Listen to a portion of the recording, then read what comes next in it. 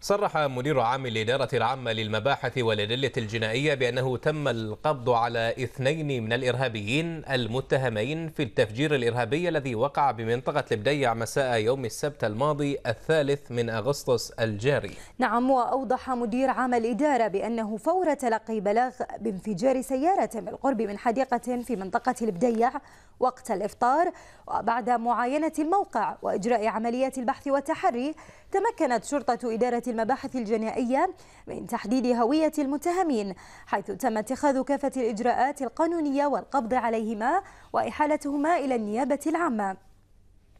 مؤكدا بأن التحريات جارية لكشف هوية بقية المتورطين لتقديمهم للعدالة.